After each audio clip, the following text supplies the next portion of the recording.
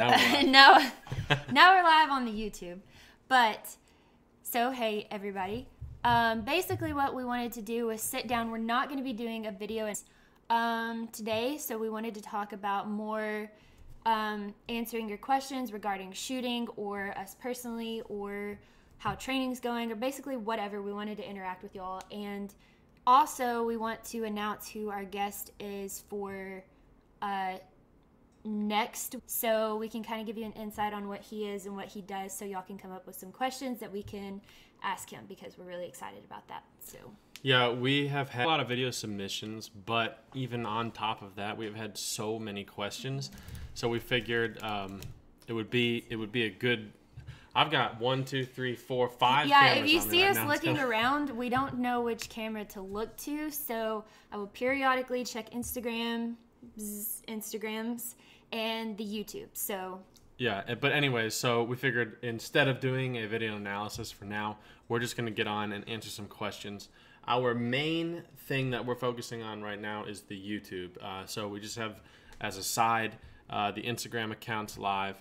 Um, so if you are watching on Instagram and you want to watch us on the YouTube uh, channel, which is kind of like where everything is going to be, uh, head over there. It's just it- it's just search Beyond the Podium if you haven't uh, subscribed to us yet. Subscribe and uh, and then join us for the lives every live at five every Tuesday. yep But um, so we got uh, we got some people in right now, so what we might as well just start.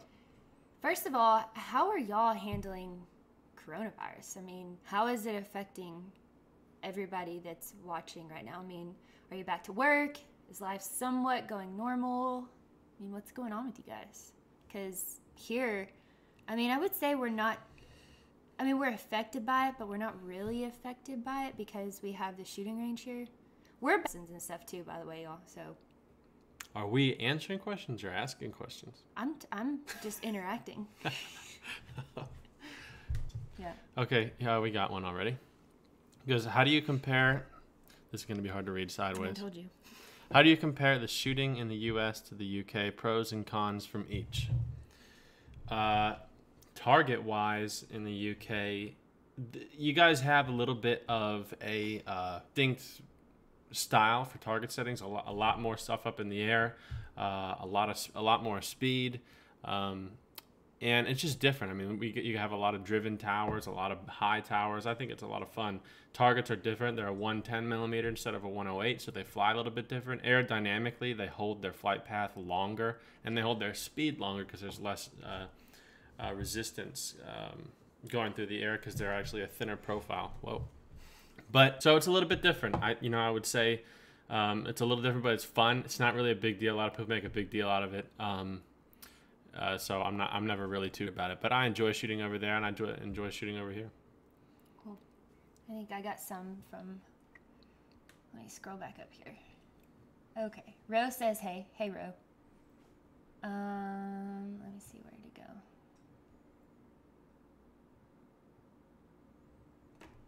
go. Okay.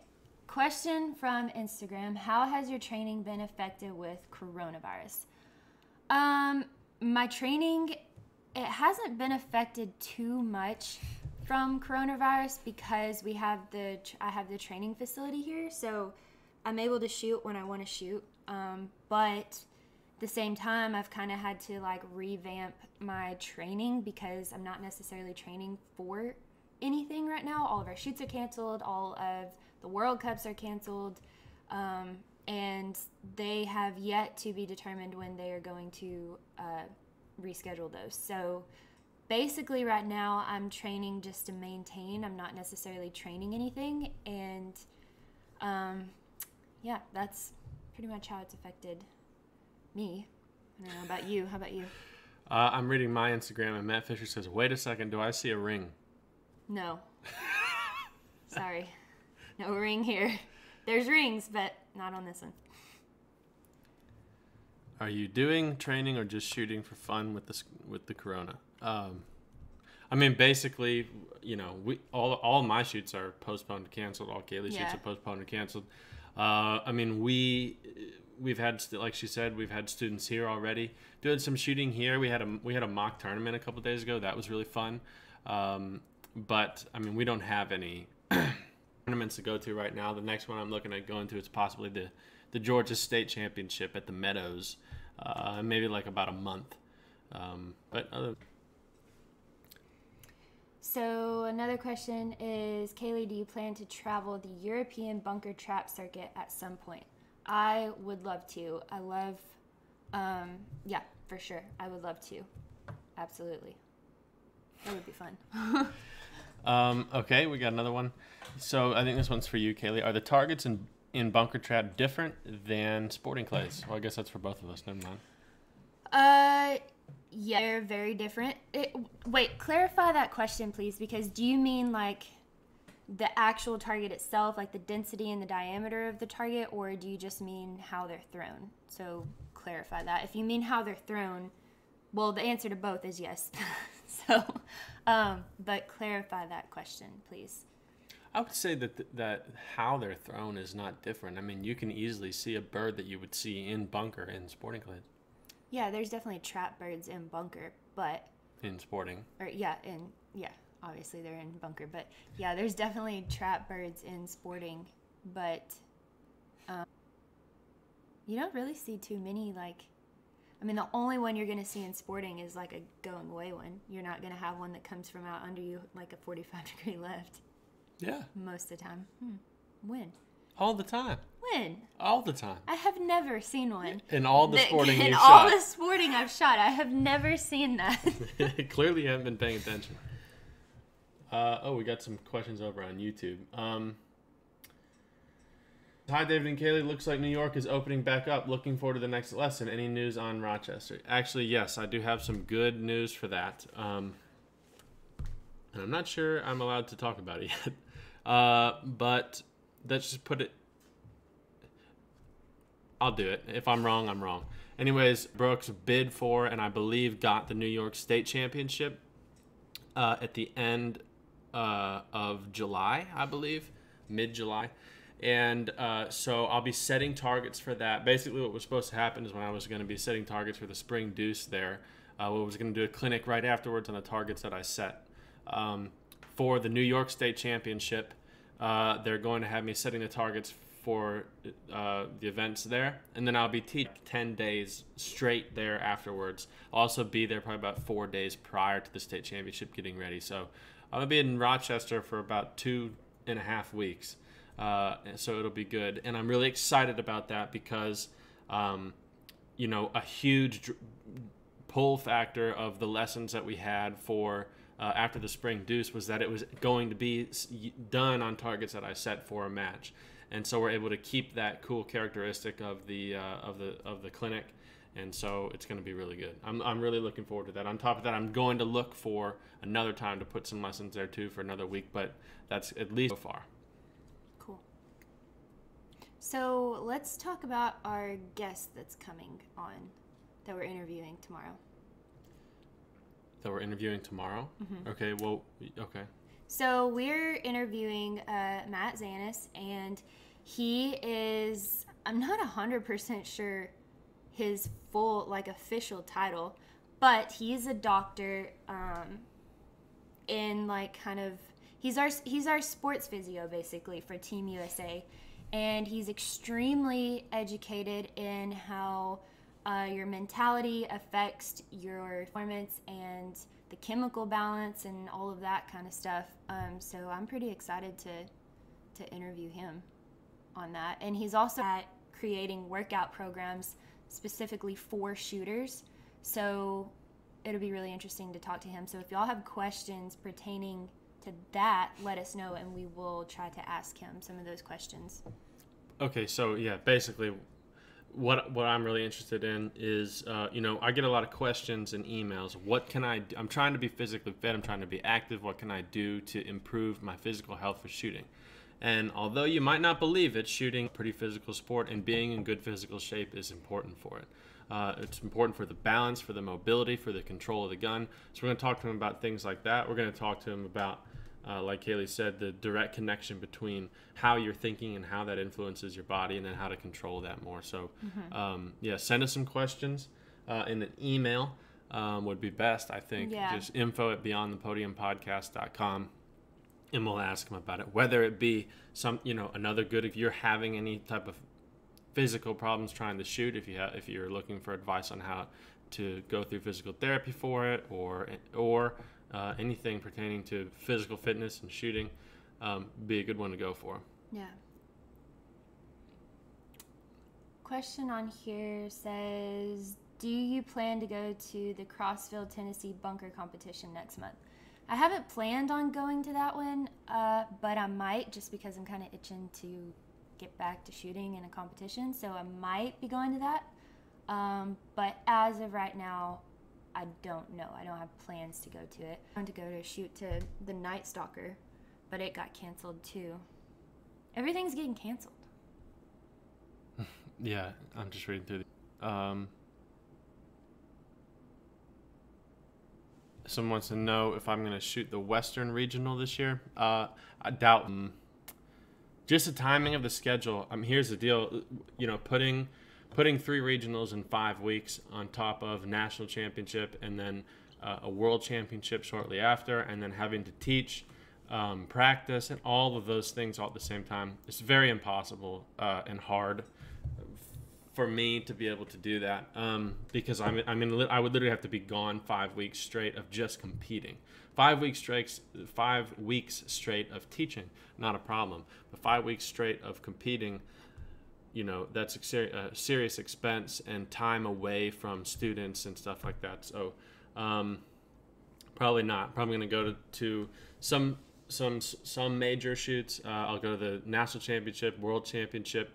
Uh, might go to uh, the regional um, in at Hopkins. I'll go to the regional in December in Florida. Uh, but other than that, I'm not really sure. State championship in Georgia is what I'm looking at right now, uh, but we'll see. What else you got, Kayle? This is really hard with all these different in, Yeah. in uh, like inputs of questions. Do we coach international skeet? No, I don't personally coach international skeet. Do you? Would you? Do you coach international Yeah, skeet? I've, sh- yeah, I've done it before. yeah. David kind of coaches international skeet. So basically, here at the grounds, we have uh, American trap, we have international trap, and we have sporting clays, um, and VTask. Uh, the only thing we don't have is skeet. Not to say that we won't have skeet in the future, but me personally, no, I don't coach international skeet. I don't know. I'm not knowledgeable enough about the form and the technique of it to coach it. Um, but David coaches it. Yeah, I mean, I do it specifically, but I've had students Yeah. come to me for lessons with it, mechanics and movement and stuff like that. Yeah. Um, but it's pretty easy to teach. I mean, you know, shooting is shooting. You, you can find problems in, in body mechanics and movements pretty easily.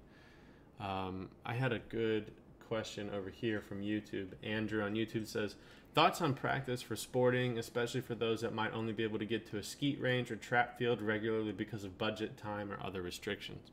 Um, so that actually is a really good question because it's it. You know, if you look at demographically the amount of people that shoot sporting clays throughout the country, and where they're situated in relation to sporting clays ranges, a lot of them have a lot easier access to a skeet and trap range than they do a sporting range. Um, and on top of that, obviously, skeet and trap shooting is is less expensive than sh- than shooting sporting. So, uh, you know, it, and a lot of people look at that as a disadvantage. But um, in all honesty, the the when I was younger, I would say that 80% of my practice on the skeet and trap field. Um, I would start every practice on the skeet field. I'd finish every practice on the skeet field, um, and you have to you have to use that area and those traps creatively. Talk to your club if before you do this though. So like I, I had a bunch of different drills that I would use on the skeet range. So one is like the grid practice, um, where you're where you're shooting specific birds as crossers or quartering birds or quartering incoming birds, and you're just working further back and back and back. And on a skeet field, you can do that. I'd walk back past the parking lot, past the road into the into the um, into the woods, which ended up being like 60, 70 yard shots. So I can practice a lot of distance, every angle on the on the skeet field. I'd also shoot a combination of skeet and trap. So I'm shooting, you know, like a, uh, a high house tra- a fixed trap bird, low house fixed trap bird as report pair, switching them around, working on movement like that.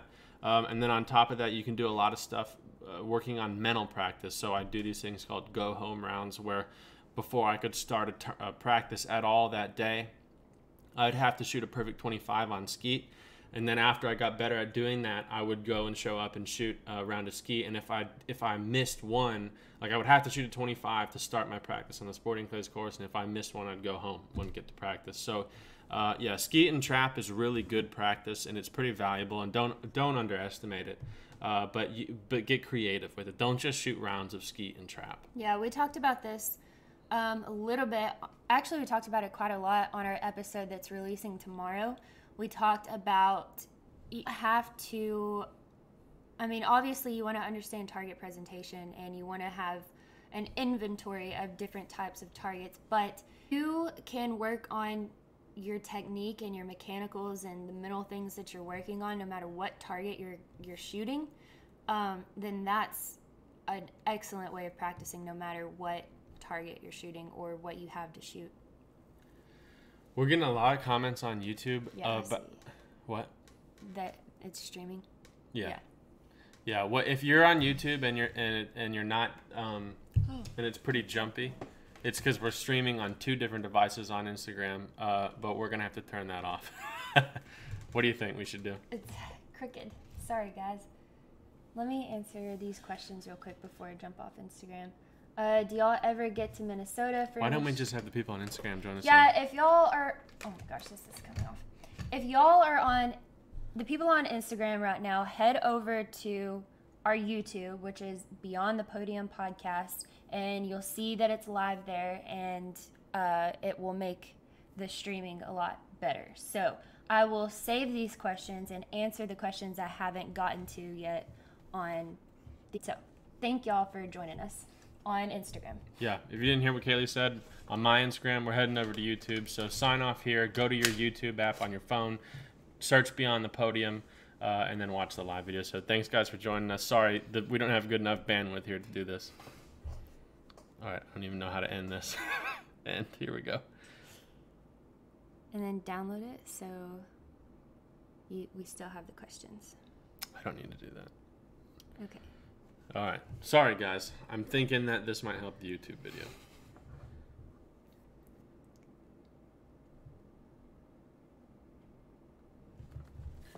Okay, shutting that off. Well, it didn't save. It didn't put the questions on there. It won't pop up. Well, then what's the point of saving the video? I don't know. You tell me. You're the one that told me to do it. Oh man. Okay, so now we're on YouTube, and let's. Well, d- that was an unsuccessful that idea. was my idea. I was trying to put inst- the people. Let me start over. I was trying to put the people on the Instagram that don't have a YouTube account and incorporate them too because we get a ton of questions on uh, our social media like Instagram and Facebook and stuff. So I thought we could have, you know, my Instagram going, David's Instagram going, and the YouTube going. However, we live in Arkansas in the middle of nowhere, so we don't have good internet. So, my bad. also, while we're waiting for some of those people to join from Instagram, wanted to show y'all the new merch. We got the merch in. Yeah. And we know that it is taking a little bit longer to get that in. A couple of reasons. One, it is custom made to order, so we don't have an inventory. So whenever you choose something off the website, then it's custom made to whatever you chose off the website. And two, thanks to Corona, our factory is a lot slower than they normally would be. So We own you- a factory. yeah. So Wow. if you have placed an order and you're like, oh my gosh, this is taking forever, we know ours took forever too, and that's why it is taking so long. So, um, and if you haven't ordered anything, you should try. Yeah, Kay- Kayle's stuff came in two days ago. I just Yeah. got an email this morning saying that my stuff was shipped. And and just to put it into perspective for y'all, I ordered my stuff the day we put put it up on the website. So almost three or four weeks ago, and it just now came in. So Corona slowed and everything down. On top of it being custom made, like made to order. So just be patient if you have ordered stuff and you're kind of like, "Where's that?" It's coming. But it's really cool stuff. I mean, this yeah, is it's really a nice. super. I washed it in like I would wash my normal clothes. Like I didn't take any extra precautions on washing it, and it, this one is 100% cotton. It is. It's. I think the coloring's pretty good on it. It's really comfortable, and there's a couple other different ones that I ordered too. Like I have the sweatshirt and a couple different shirts, and anyways, so we are testing them out, and so far I, I like them Yeah. for sure. Um, let's see.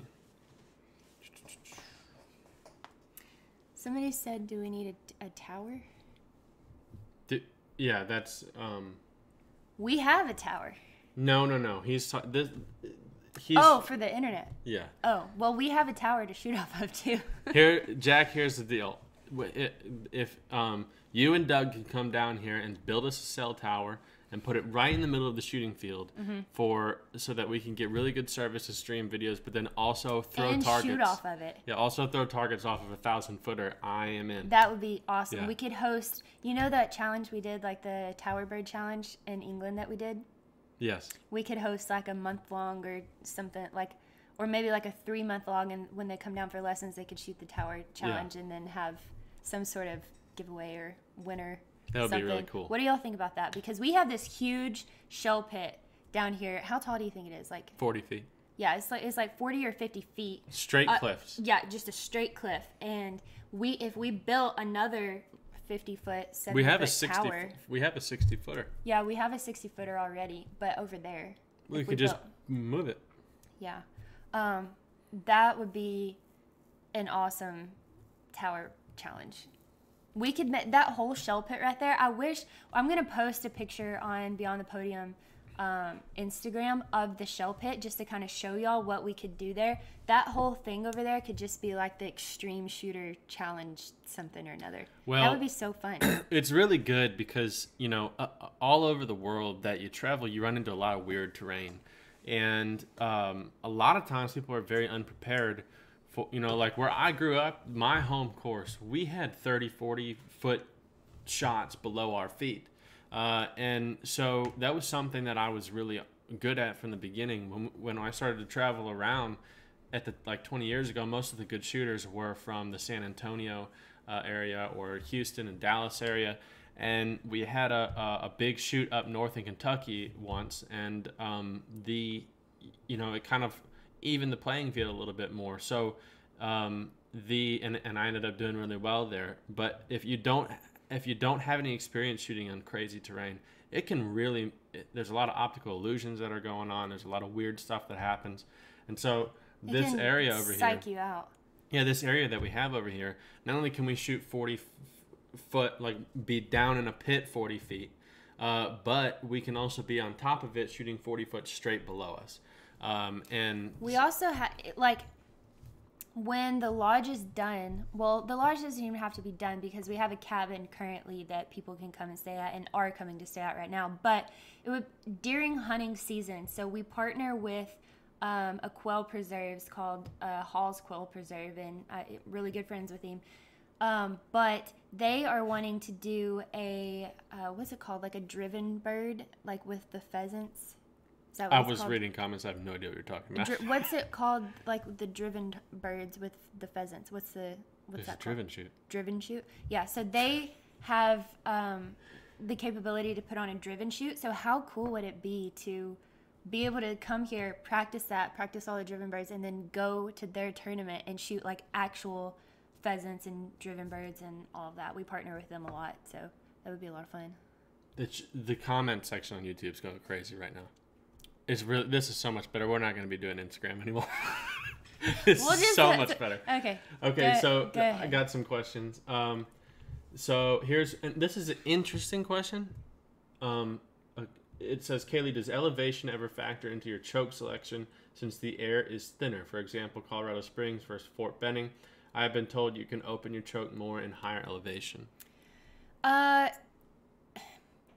yes, it does, but not to an extent that I think would be enough to matter.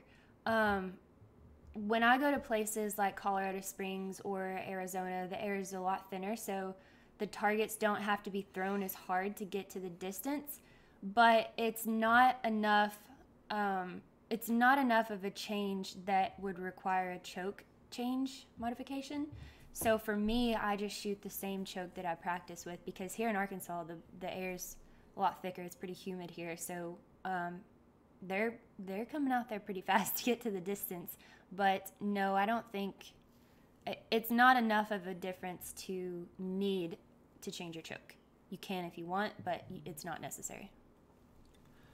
Um, my approach to that is that, you know, I always try to look at something as the biggest net benefit I can possibly get.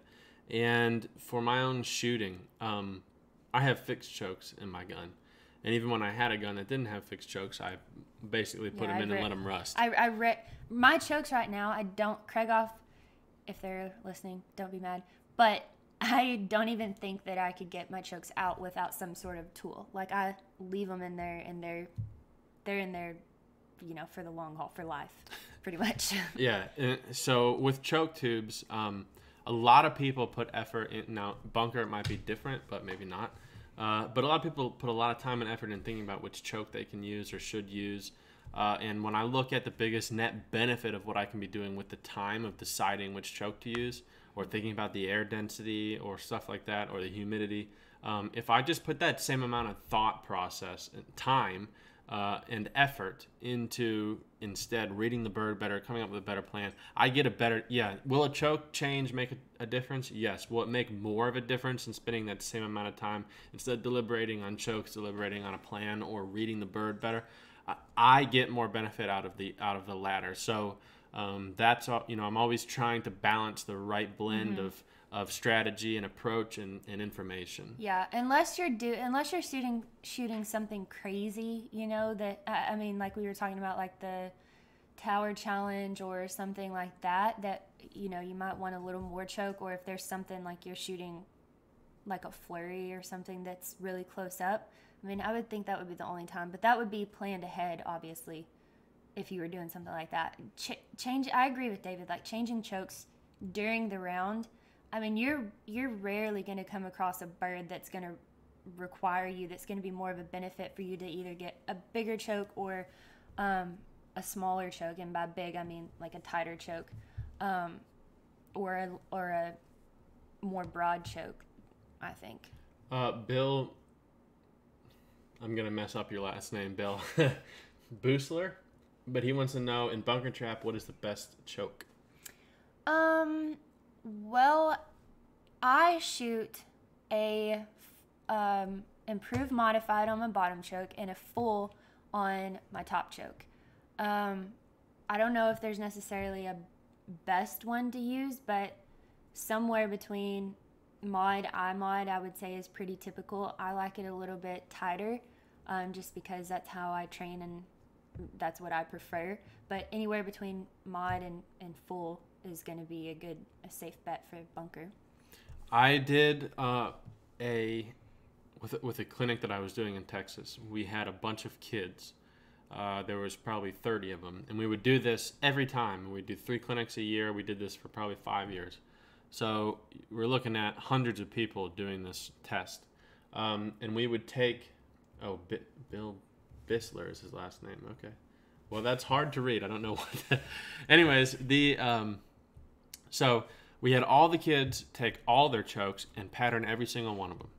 And a lot of times you, we would find on both aftermarket and um, OEM chokes uh, that the they wouldn't necessarily pattern what they were. Um, we'd have inconsistent patterns, um, and then some chokes would, you know, like an IC would pattern just as good as the you know light mod on that specific group of chokes. And so basically what i'm saying is if you have a set of chokes number one realize that don't just take the marketing of the companies yeah. uh, you know don't just take marketing as legitimate information. Do your own Te- testing yeah test it. them out and then find whatever choke works the best in your gun. Pretty and, much when you get that ammo that you like to shoot. Yeah but you should start with Gamebore and then just finish the test there. Or Federal. but uh, with the choke, I mean, seriously, test different chokes out, not just brands, but constrictions, and just find the one that has the best consistent pattern. Leave it in there, and you'll be good to go. Think about something else. And just to give y'all a reference, when we were in England, I shot that high tower challenge, whatever that was. What was that? Just a. The- the it was tower. a t- tower challenge, and they were ridiculously hard. Like, what would you say the closest bird was on that tower challenge? I have no idea, but they were good. Like a guess, just so they have a, an idea. the closest tower bird was probably 50 yards. Okay, yeah. What? How far do you think that one was that I broke and I got so excited I forgot to shoot the second one? It was probably it was probably 90 yards. Okay, a 90 yard target that's that was thrown off a tower and it's like coming down like this. 90 yards. I broke that with an improved cylinder choke and a borrowed gun. And uh, I mean, just it was a 90 millimeter Shondell. yeah, just to give you a reference, would that be my choke of choice? No, but can it break it? Yes. So there's not, like David was saying, that, I mean, do your research because there's not too much. I mean, if you change from a modified to an improved modified, it's more preference than enhancement, I would say, For in, chokes, in most situation, situations. For chokes, I had a, a friend of mine from Ohio. His name is uh, Miles Badovic, and he, when I used to have a gun that had choke tubes, um, or threaded barrels, he made me uh, some like homemade chokes. He was a machinist, or is, and to this day, I still think it's best chokes I've ever shot. But anyways, he made me a set of chokes for my gun, and they were both set at twenty thousands, so modified. And even though there's a lot of debate uh, online about the world record shot, uh, the Guinness World Book of Records shot is like 107 uh, yards. That was done at the World Championship in Northbrook this summer. No exaggeration, both lasered and stepped off um, at 167.5 yards.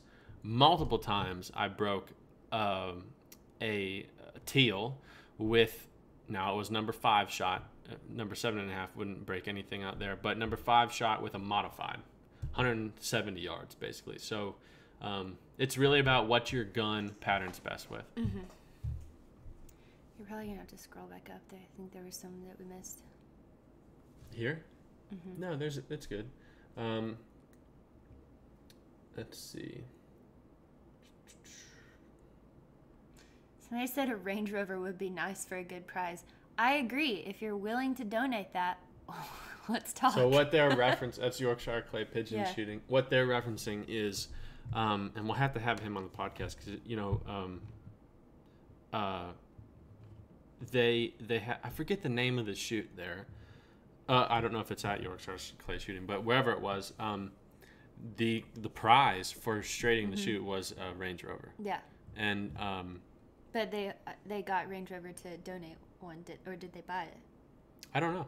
I think they well, it, a lot of times shoots like that they have when you say it's like a hole in one championship. Mhm. Have uh, sponsors. Yeah, and you take insurance out that someone's you know you, you basically set the targets to be impossible, Yeah, and then but it happened one time. I bet we could set something. We I don't. I highly doubt Range Rover would sponsor our shoot here, but Tesla.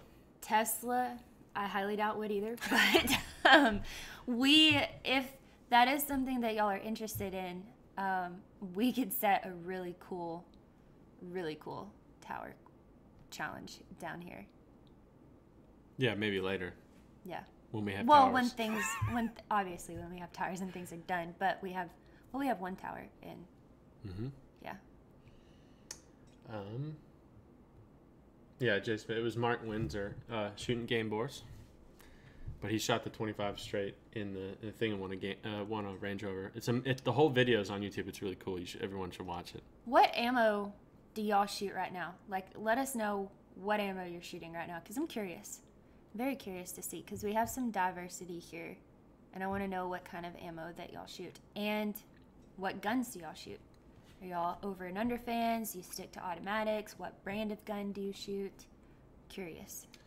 So Bill said, "Is there an advantage with paper hulls versus plastic, and which do you use?" For me, or just Both in general? Excuse me. That's not Corona. Um, I shoot federal papers. Um, I like the papers because of the smell. Obviously, I think they're the best smelling shells in the entire world. Um, the downfall of the papers, I would say, is for me they don't last as long. You know, like weather-wise. Hmm. Why are you staring at me like that? I don't know. I'm listening to what you're saying. I feel like you're fixing to contradict everything I'm saying. Like you, like you're listening to what I say, so you're like, mm, no. uh, but I shoot. I, I have shot plastics and papers. I used to shoot Winchester um, double A's, and they were plastic. But now I shoot Federal papers, and I am partial to the papers. I just I don't know why, but I like them. I don't.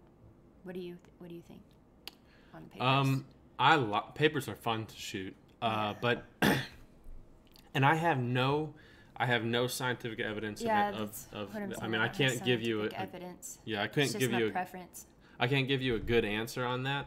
Uh, but the I can tell you that I I preference towards uh, shooting uh, plastic hulls, um, and uh, yeah, the. Are you going to the new quad seal Gamebore? Yeah, I'm going to answer that later. Uh, but I, you know, uh, Gamebore makes some amazing pa- uh, paper shells, um, but I just like the you know plastic. The other thing is, um, yeah, I, I really don't have an answer for that. Yeah, I don't. We don't know the science. Like I haven't dug too much into the science. We would have to have Gamebore on or or Federal on and talk more about the science behind paper versus plastic.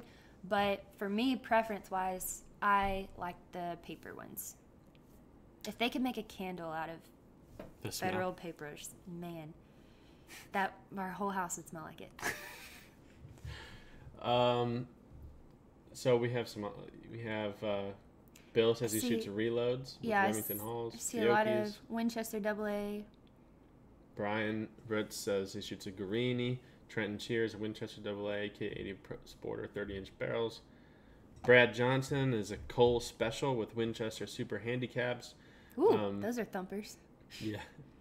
Uh, Ron Gamebore with a Perazzi. Um, Trevor shoots Winchester AA, ounce and an eighth, 1145. Oh, that's a cool ounce and an eighth load. Uh, with the Beretta 692. Federal paper, one ounce, 1180 feet per second of his out of his LC Smith for side by side events. Nice. I love shooting Yeah. side by sides. Um, let's see. What do y'all think? Here's a good question. What are y'all more?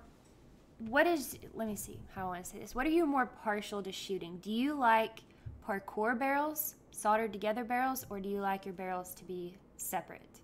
Let me know that too, because I'm interested in that as well. Okay, so this question is: Can you explain the importance of antimony and har- the hardness of the lead? Do you want me to go with that one? Mm-hmm. Okay, so the interesting thing. That's a good question. It is a good question. Uh, so this is a lot of. I'm going to get ripped apart for this opinion, but here's my opinion. So obviously, uh, antimony is important, right? We the hard what antimony does is it is a um, a harder metal than lead. Okay, and so what they do is when they when they create lead pellets, they put a blend of antimony in with the lead to make it harder so that it deforms less when it comes out of the of the barrel. So basically, it holds better pattern, right? But two things that is bad about having a very hard piece of metal flying through the air to hit uh, a clay target. Number one, the harder you get with more antimony, the lighter that the lead pellet becomes because antimony has uh, uh, less density than lead. So um, the more antimony you put in, the lighter that the pellet is. Therefore, the lighter the pellet is, the less energy transfer downrange that you have. So you always got to find there's this very fine line between the percentage of antimony, so hardness and energy. It's very, very hard. I mean, physically and chemically impossible to get an extremely hard pellet with a lot of antimony that's also very heavy and carries energy downrange. So to get a shot that's hitting targets hard at long distances, you have to have a heavier pellet. Um, and so, you know, th- that's I'm gonna call them out on this. Uh, but the the new Winchester Double A uh, Diamond, whatever they're called, have eight percent antimony, and they're advertising this as being something that is really good because it creates a really hard pellet, so it it hits hard downrange. Okay, the industry average is maybe around a five percent antimony. Eight percent antimony influences the weight of the pellet. I mean, you're talking about more than 50% antimony uh, than a normal pellet. So, uh, what you really want to look for is something around 5%. Uh, and, you know, don't fall for marketing about importance of antimony. Antimony is important to create a uniform pattern, but it's not good for creating energy downrange. And now, it depends on what game you're shooting. If you're shooting FITASC and harder sporting clays targets, you're going to want a load that's built for more long range shots. So you, are going to, to need energy transfer downrange. If you're a skeet shooter or an ATA trap shooter, uh, or you shoot a lot of charity events, you either need one of two things. You don't care about having hard shells, uh, uh, hard pellets, because pattern doesn't matter to you because it's so close they can't def- deform quickly, or you want really hard antimony, high levels of antimony, so that um, because the loss of energy within 20 yards is not a big deal. Uh, so I can go into it. I mean, I can go through like the atomic weight of all those things, but it's probably boring for a lot of you guys. Um, yeah, Art Miller says higher BB count though with higher antimony. Uh, yes, you do have a, a higher BB count. The um, what, Kayle, why don't you talk about something while I bring up some information? talk about what? Anything you want. I can't read the questions. They're too far away. That's interesting. I'd never. I mean, obviously, I know about that, but I don't know a lot of the science behind it. Mm-hmm. I would be one of those people that would read that and probably just trust what they were saying and not do a lot of research on it. Yeah, you know? there's a there's a lot of um, there's a lot of misinformation out there, and here's the, the deal: a lot of a lot of companies rely on your ability to buy into their marketing. When they talk about really high antimony, that's not necessarily a good thing. You know, it, it it's just you know, marketing is okay. just There's yeah. a question. You got more? Well, I'm trying to read it. Where's my other phone? About. Can you grab it? Let's see. About Kayle's questions on barrels. What are your thoughts on the difference between barrels with hangers and what does it say? One soldered together simply for looks or any performance difference? I can give you my thoughts on that, and I'm sure David will have his own thoughts on it. Um, the main two difference on barrels with hangers. Uh, I shot for a very long time with barrels that had hangers on them, and it's good because you can switch up at any point um, how your gun is shooting when you want. Meaning, like if you wanted to shoot 50 50, 60 40, 70 30, it's very simple to change that if your gun has hangers on it. Uh, the downfall of it is that they're slightly heavier although now they've come out with some that are basically made out of titanium and aluminum and some then some things that are a little bit lighter, but they are a heavier set of barrels. The soldered together barrels, I think um, you don't have that luxury of being able to move the barrels, but you can always adjust that based off your stock, correct? How your stock fits you. I'm, I'm doing math in my head. Sorry. He never. This is a daily thing. He never listens to me, but um, that's my opinion on it. It um, you know, if you're shooting a game that that you know, there's never really a point to where you're going to be changing how your gun is shooting often.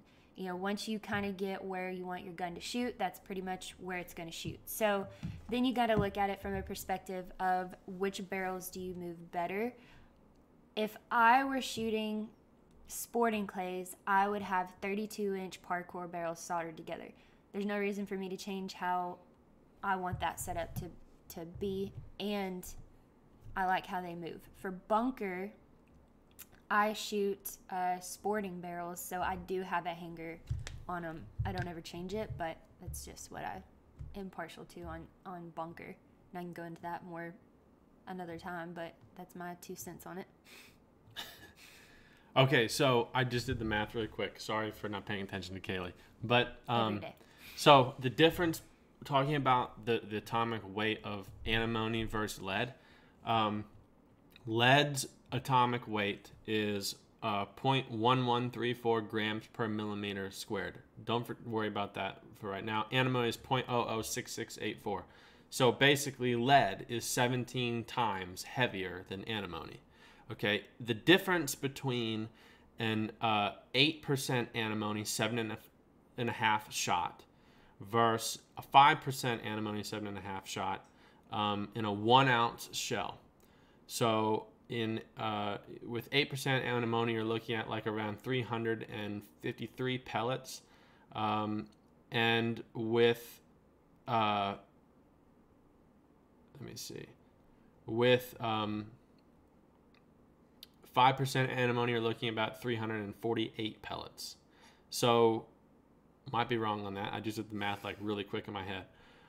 The difference in pellets versus um, th- this is a one ounce shot, so you're restricted in the amount of weight that you can carry. Uh, but in terms of the energy transfer downrange, check this out. So at 8% antimony, you're looking at um, uh, four foot pounds per pellet.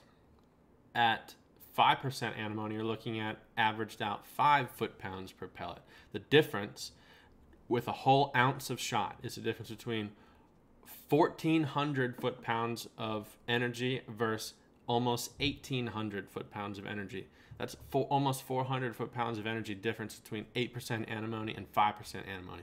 That's a huge difference. Um, and so, and that's that's around 1,300 feet per second. So, it, so that's downfall. The down, yeah, the downside of a lot of antimony is you don't have energy transfer downrange.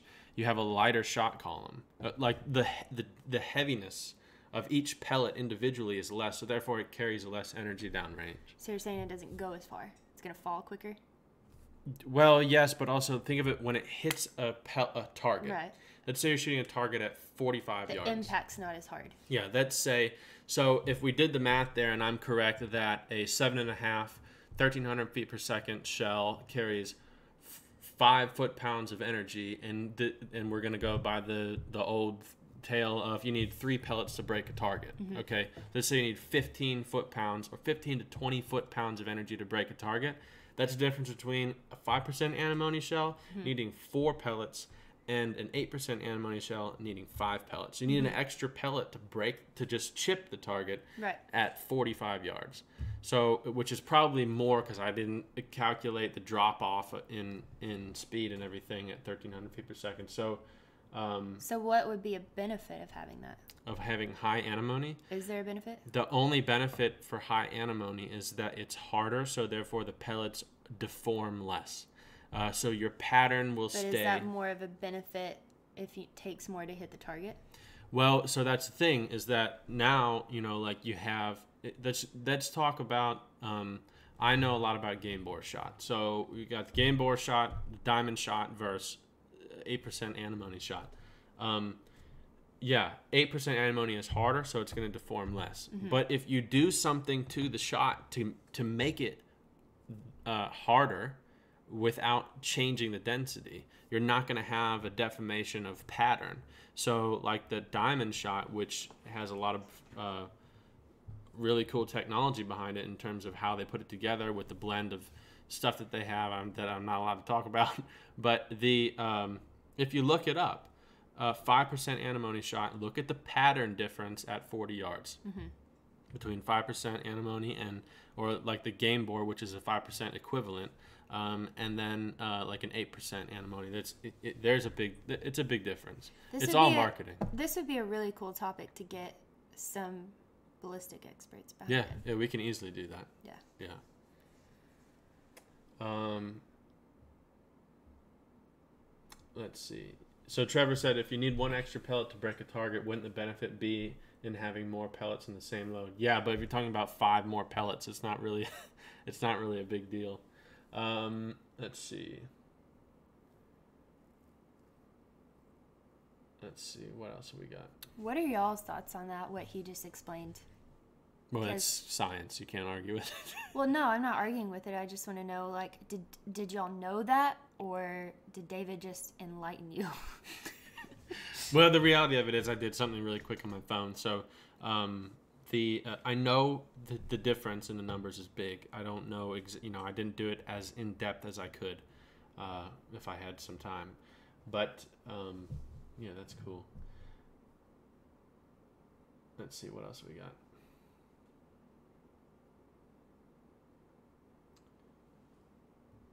Makes it tougher to shoot birds below your feet or far above your head. That's an interesting question. Did you answer that What is from it? Brad Johnson?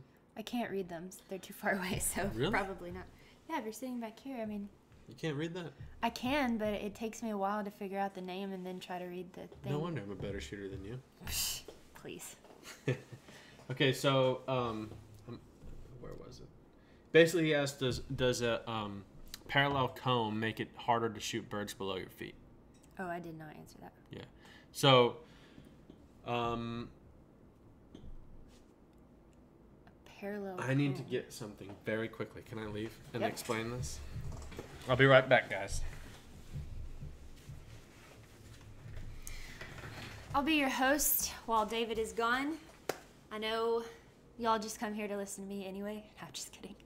But um, while we're taking a short intermission, how's everybody's Tuesday going?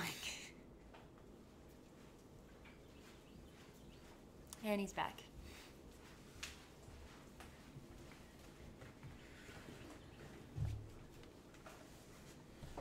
Okay. We brought his broken stock out. Trevor says David goes by science. I go by appearance. That's why he's a world champion. Uh, David okay. is the most analytical person that I know. He, well, I can literally, he'll be on his phone doing something, and he'll, I'll be like, "Hey, what are you doing?" And he'll tell me I'm on my phone.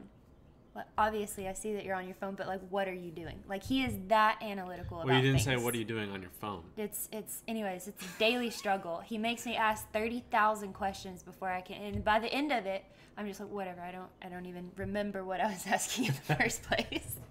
Okay, so to answer the question about a, a parallel comb uh, influencing A shot beneath. a, a shot be- below your feet, it will if you move incorrectly below your feet. So, can I have you scoot away? I know all you guys come to watch her, but I'm gonna have to take over the camera for a second. Okay, so this is a stock.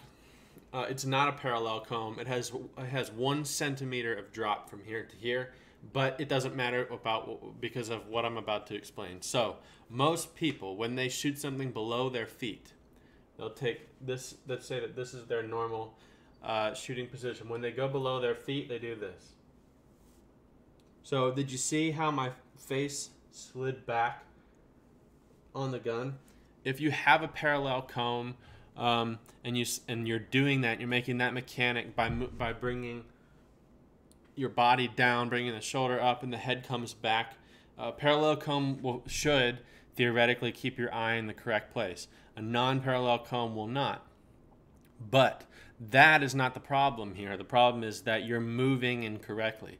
To shoot something below your feet, what you should do is so if I'm standing like this, I know you guys can't see me right now, but if I'm standing like this, what I should do to get lower is bow at my waist.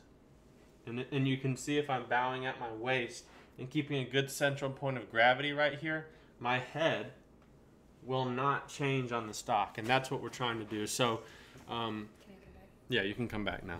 So that's that's the explanation of that question. Whether it be above or below your face, that's how you should do it. The, Trevor says the infamous broken stock. um, What else we got? let's see. You think barrel deformation caused by heat makes any difference at all? And do hangers help with this versus fixed mid rib? I would.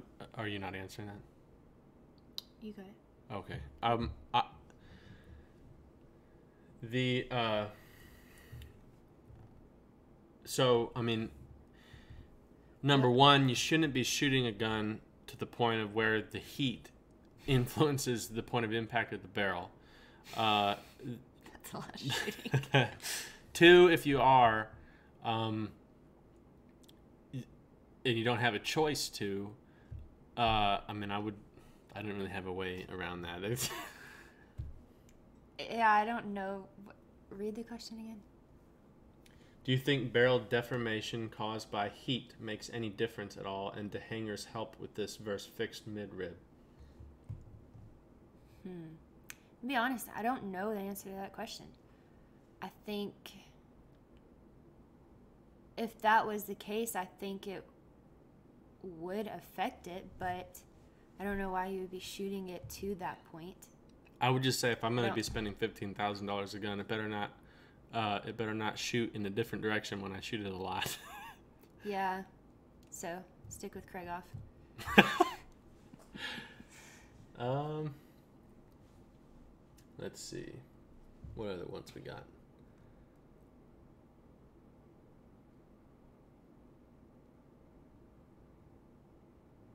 Hmm, there's a lot of questions here. That how's uh all right? How about we have um, we got What a time is it? we got thirty minutes before we have to be there, and it's fifteen minute drive. Yeah, so we have about five more minutes here. Yeah, let's do for the next five to ten minutes. We'll do uh, quick questions about non-shooting related things. yeah. Yeah. We'll do a rapid fire question. So ask us any question at all, not shooting related. For the next five minutes, we will sit here and answer them. We're gonna have to wait thirty seconds for them to get that. And if your first question is if I'm better at, at shooting than David, then the answer is yes. The answer is no. Yes. But that'd be a shooting related question. I'm just getting that out in the air. I really like. Um,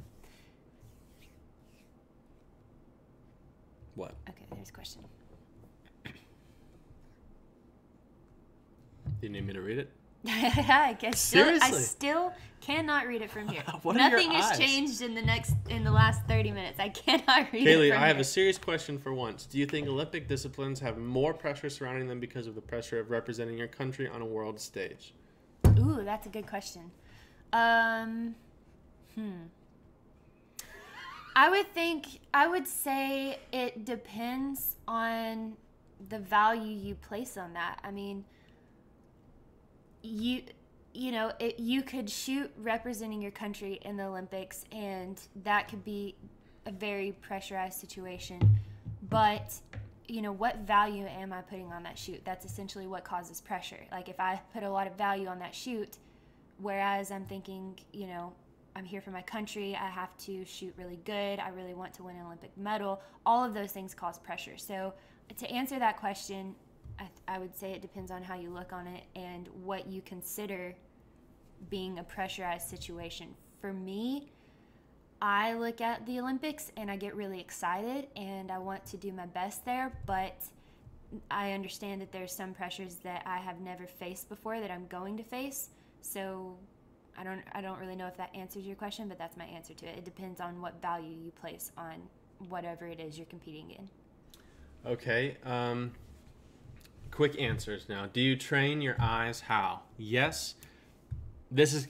Ooh, maybe that's not answer this. Yes, I do. I train them with Senaptec. Yeah, we both train our eyes, and we we are gonna do like a three or four series We podcast don't on. have to say that part. Huh? Just say what we train them on. Well, that's now, why we're now you know. Okay, so Okay. yes, we do train our eyes. I train my currently. I train my eyes more right now than I'm actually shooting, um, and I use the Senaptec strobe glasses. So if you're interested in those or don't know what they are, we're fixing to do a podcast with them, so you can learn all about them. And uh, we're actually, I guess I can say this now because we're actually going to be doing a giveaway for some Senaptec strobe glasses. So stay tuned for some more information on that. But That'd be training, very cool. training the eyes, yes, 100%. Okay. Um, will a pro team in Ohio have a winning record this year? No. Actually, yes, the Browns will. I think the Browns got this. Uh, will you get the Olympic rings tattoo? Yes, um, I have right now. So this is actually a. I'll, I'll tell you a story, but if you can see it right now, I have a tattoo right here, and it's the laurel wreath, and it's the wreath that you see that's around the Olympic rings tattoo, not Olympic rings tattoo. It's the wreath that you see around the Olympic rings. And long story short, if you Google my name, my name in Greek, I think is what it is. It's been a very long time since I looked it up, but it means the laurel wreath. So that's where this tattoo came from. And now that I've made the Olympic team, I do plan to put the rings in there because there's a lot of meaning behind it rather than just making the Olympic team. Um, when are you getting that new Ram 2500 with the 12 inch screen to keep up with the Tesla? I actually have a Tesla Cybertruck on order.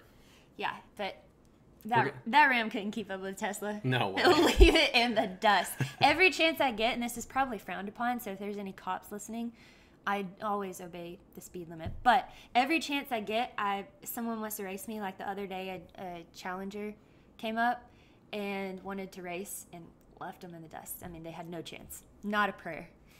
Um, will the Bills make the playoffs?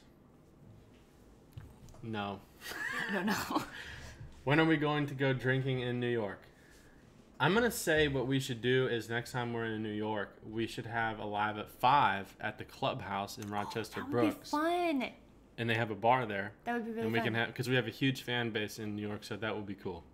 Uh, let's say if your NFL team is on the road to Vegas, is that now your Vegas weekend? I don't understand that. Does that mean like go to Vegas to watch the NFL team play? I don't know. Art, re-clarify. Please. Uh, shot cam or not to shot cam when shooting bunker trap? Shot cam. If you're talking in training reference, 100% shot cam. Um, Is that even legal in a match? you cannot use it in a match. That's why I said training purposes only. Um, you can't use any kind of enhancement like that during a match. Actually, that's a really good question. I don't know, but I'm gonna. Almost guarantee it's I'm not. almost guaranteed you cannot use it during a match, but for training purposes, 100% highly, highly recommend shot cam. If you training. can't even have a smartwatch, there's no way you can have a shot. Yeah, we can't. I can't even wear a smartwatch because anything Bluetooth related, and ShotKam does have Bluetooth where you can play it back on your phone. So yeah, I'm gonna go ahead and say no that that's illegal because it would be very easy for my dad or somebody to connect to the ShotKam and watch the shot and what happened and then like tell me what happened. So it would be coaching online. So I'm gonna say no. But training purposes, yes. Um, back to my first question: When do I need to come down to Arkansas with new duck calls for y'all to teach David how to blow one? Please, he, please, Trevor. I'm assuming that's Trevor. Yeah. Yeah, please, Trevor. Come down anytime. I'm going to say sooner the better because you need some practice. Uh, Dr. Colo as a guest. Yeah, I'm gonna have Dr. Richard Colo on as a guest, and we're also gonna be hopefully getting Edward Lyons on as a guest. Um, uh, so yes for that. Uh, MJ or LeBron in a game of one-on-one. I'm gonna let Kayle answer that first because many of you don't know she's actually a really good basketball player. Yeah, Tom C has challenged me to um, like a one-on-one playoff. And for those of y'all that don't know, I could have went and played in college for basketball, but I chose shooting. And uh, what what was the question? I MJ or LeBron in a game of one-on-one in their prime. Oh, that's a hard one. That would be a real. I'm gonna say that would be like a 50-50 No, you can't do that. match there. That would be a good one. I'm gonna go LeBron. I would say LeBron. Smart, very smart decision. I would say LeBron. He comes across. I don't know either one of them personally. This is from the outside looking in and watching them play. But he come LeBron comes across to me as he is takes a more analytical approach to the game, and there's pr- probably not something that MJ's gonna do that's gonna surprise him. But I feel like LeBron might surprise MJ.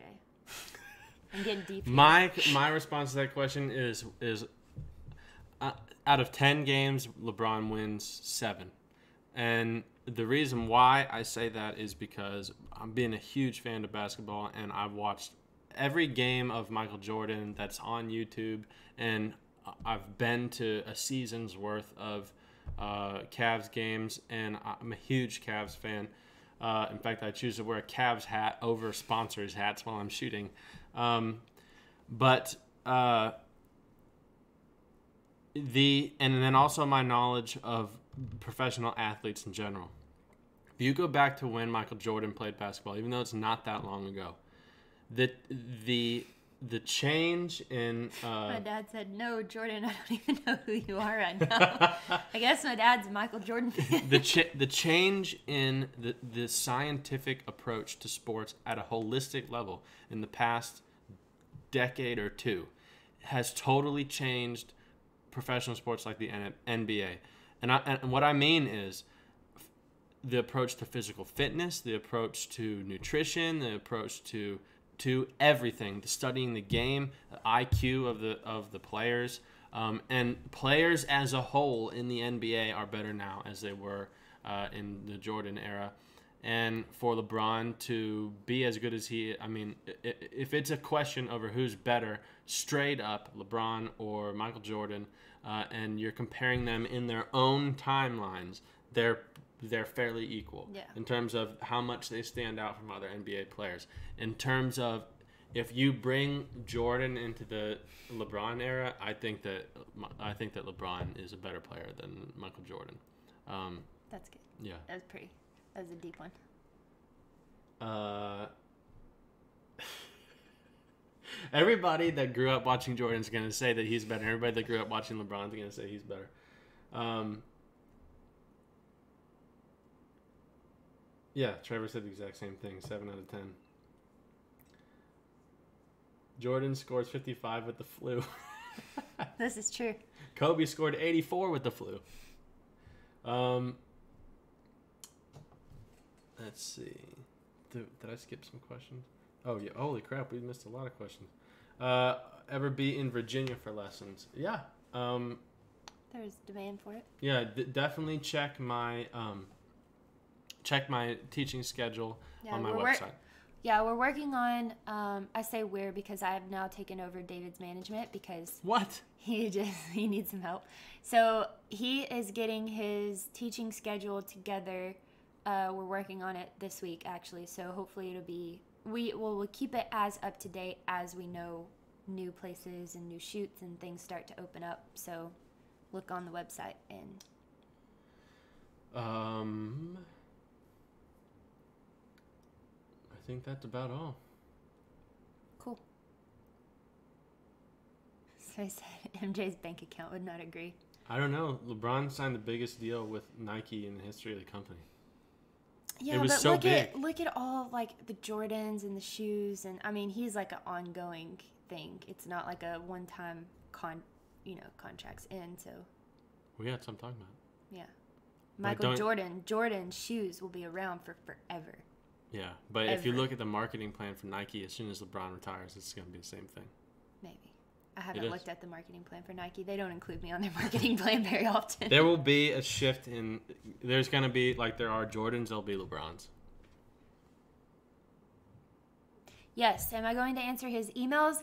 I am on top of him. How much do I ask you daily if you've answered emails? Yeah, she does. Liter- literally daily. When we wake up i say what emails do you have to answer? What do you have to do today? And i make him make a list. So if you if you if he has not answered your email he will within the week if it's a new email um, because i stay on top of him on that. Here's the ser- here's the serious issue with that is that I get so many emails that only I can answer. Uh, There, it's not um, something that I can farm out to somebody that I can hire. It's not something that even Kayle could answer. Uh, and so the problem, and then they're not answer, they're not emails that I can just write a two or three sentence response to. On a on a daily basis, the emails that I get require pages of a response and something that exactly only I can answer. So uh, the emails do do uh, fill up, and uh, unfortunately, I don't have uh, a nine to five job where I can sit on a computer and answer emails all day. But um, you know, they go they they go out as quickly as I can, and if you if you need to get a hold of me for something that's serious and I can't and I'm not responding, don't feel bad to just keep sending stuff to me because my phone goes off so much it's hard to keep track of. So don't feel bad about that. Uh, but that's the but i do stay on top of him of it yeah. Um, oh yeah, Painter. I know you're joking. I'm just saying. Uh, I wonder how people are retracting lessons. Okay, so Duke says we need to go to Virginia for lessons and coaching. There's a lot of beautiful Uh, places there. Yeah, if y'all, if there's an area that's not on um, his schedule, send us an email because if there's enough of a demand there, like Virginia, for example, if there's enough of a demand there, I mean, we definitely can make a trip there to to coach. I mean, Yeah. that's not not the a other problem. thing that the other thing that we're doing is, uh, you know, very shortly, we're gonna be able to have people to come here. And although it might seem kind of like, uh, you know, a little bit out of the way to, tr- to travel to some place to, to take a lesson, the huge benefit in coming to us to take a lesson is that when I go other places to take a lesson uh, or to give lessons, I'm not in control of the uh, scenario around me, the target setting. And so basically, I have to adjust my teaching to what I have there to teach on. If you come here, um, we don't have that problem. And so I Yeah. can, we can, you know, have a very targeted and focused uh, les- lesson session. We can spread it out over two or three days. Um, yeah, just really quickly, why don't we give like just a really quick description of what we have here and what's going in here? I know well, we, we've don't need to do. Let's let's do the video we were talking about. More Well, that we will to like reveal it, but just like really quickly, we have we're in the process of building the lodge, which y'all know that Cypress Creek Lodge, and like I mentioned earlier, on the facility here we have International Trap, American Trap, Sporting Clays, FITASC, and then we have the capability to put in some of the towers that we were talking about. But basically, uh, what we want to get it to is like a training facility here. Y'all can come here, book a lesson, fly down here. You stay at the lodge. You can come a Thursday through a Sunday or however long. We're gonna have clinics here. We're gonna have David's gonna have sporting clays clinics here. I'm gonna have bunker clinics here as well as ATA. Um, and basically, it's an all-inclusive package, so that includes your meals, your drinks, your targets, everything. And you come here and you have a place to stay on the facility, and um, don't even need to rent a car. We'll pick you up if you fly. yeah, the the airport is 40 minutes away, 35 minutes away, 40 minutes with traffic, Twenty minutes Um, in a Tesla. 20 minutes in my Tesla because it's fast. But um, yeah, so that is what we're. We have the capability to have people here currently because we do have a cabin. It sleeps four people. Um, but we're doing this on a bigger scale, so the lodge isn't finished yet. But that's the idea of it. We can have we have the facility here now currently. The only thing we're lacking is the lodge to be able to host multiple people here for a clinic. So, with that being said, that was long winded. But with that being said, um, we are starting to open up for lessons here. So if we can't make it up to you, like if you're in Virginia or something like that, that we don't typically go to or that David doesn't typically go to, reach out to us because we might can make something happen to where you come here. So yeah, we just had a student of mine come for Yeah, a half a week, week, and yeah. it was awesome. I mean, he had a beautiful place to stay here, uh, and it, it was really good. yeah, so Uh, Minnesota, I freaking love Minnesota, and I, and I have a couple friends that own clubs there. So yes, I would love to teach up there. Uh, I hunt up there, so I might as well teach. Mm-hmm. Uh, James Cooper says we should both do a clinic together. I- I'm trying to get her to come to Rochester with me. Yeah, I would love to come to Rochester. Um, how do we find out about Cypress Creek? We are going to continue to update that on our personal Instagrams and beyond the podium um, because it's kind of shooting related too on what's going on. But once the building is actually up, I think we're probably going to create some sort of Instagram, social media, probably a page on our website would be more realistic uh, for the Cypress Creek Lodge, and you can book your stay there, book a lesson there, and also we're going to try to figure out how to correlate it to where if you book a lesson with David, you can choose, you know, if you want it here or if he has a clinic booked or something along those lines. But we'll keep you updated on the lodge and the process that like that's going on right there. But if you want to, if you're interested in doing something currently before the lodge is done, we do have the cabin. So just send us an email, um, any of our emails, info at beyondthepodiumpodcast.com or David's email or my email, which you can find on the websites. So that was also very long winded, but anything else you got? Uh, Trevor saying we should teach at Hopkins. That would be cool. Good Mhm. idea. Uh, and then saying uh, over at Yorkshire when we're over there. That would be really cool. Yeah. I love teaching over there too. But Yeah. Yeah, that'd be good. So, yeah, cool. Well, we're Sweet, gonna guys. wrap it up here. We appreciate y'all sticking with us through my idea to do it on Instagram and Facebook and David's Instagram You don't- and YouTube. You're not having any more ideas. Listen, trial and error, okay? It could have really You've been, it like, could have worked out really Five well. strikes in a row so far. If y'all are wondering about how the carpet turned out, it is phenomenal. Yeah, af- after, tell them what we had to do. Well, I had to have a cleaning company come and steam it because there was so much soap in it. It was ridiculous. Uh, and water. and yeah, and water. So we had to have a cleaning company come and like steam it out, and then I had to let it like sit outside for a day to like dry out. But it is now very clean. It's like the cleanest it's ever been, and it smells so good. It smells like like fresh linens. It smells really good now. But I don't recommend the approach I took on the rug. Probably not a good idea. Yeah. Uh, Okay. All right. Sounds good, guys. We appreciate y'all sticking with us, and thanks so much for being so active with us today. That Yeah, was that was fun. that was really fun, and um, we're probably gonna do some more video analysis. So. Uh, keep sending us your videos. We have a lot of videos to go over, but we just wanted to interact with y'all today and answer your questions and tell y'all updates and what's going on here. So um, look forward to, or y'all keep your notifications on um, because we have another episode on the podcast releasing tomorrow. So make sure to listen to that. And I just want to also tell y'all again please like, subscribe, follow all of that because it gets to a point on YouTube to where we can make it to where it's more of a benefit for y'all, like on our giveaways and some of the merch and stuff. But we have to have, you know, a certain amount of subscribers and whatnot. But anyway, so. Perfect. Cool. We'll see y'all guys next time. Thanks, guys. Bye.